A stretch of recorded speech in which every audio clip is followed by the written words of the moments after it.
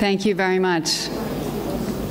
I must say, I don't think I have ever participated in a closing ceremony in this room with so much enthusiasm.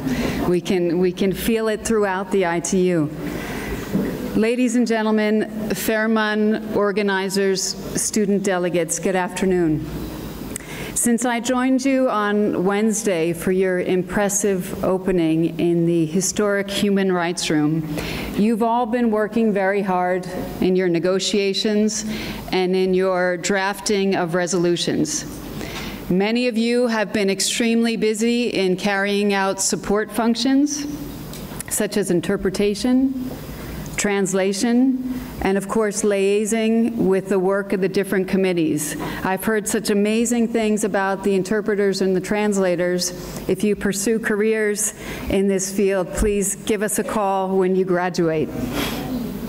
Some of you have also been writing articles, taking pictures, managing the layout and the production of this excellent Moon Gazine, which will serve, of course, as a wonderful reminder when you leave this FerMUN 14. Others have been working with ITU's own video team led by Max uh, to prepare the fantastic closing video that we saw at the start of our session. From what I've seen myself and from what I've heard from my colleagues from the ITU that have been attending your sessions is that the debates have been great. They've been exceptionally high. This, of course, is very encouraging to us. As I said to you in my opening address, tackling a problem as complex and global as climate change means tapping into the power of youth tapping into you, into your energy, your ideas, your creativity, and your passion. And that is what we've done this week. I'd like to come back to something that Juliana said in the opening on Wednesday.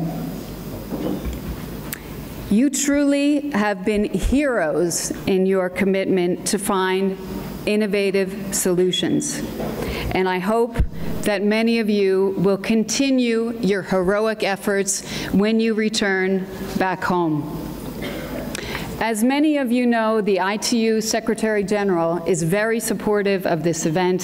He was most disappointed that he couldn't be with you on Wednesday for our opening, but he is here with you today virtually, and we're going to try something. We hope that it works. We are going to Skype him in from his home in Bamako, Mali, and without further ado, I think uh, I'll ask the technicians to bring to us Dr. Hamadoun Toure.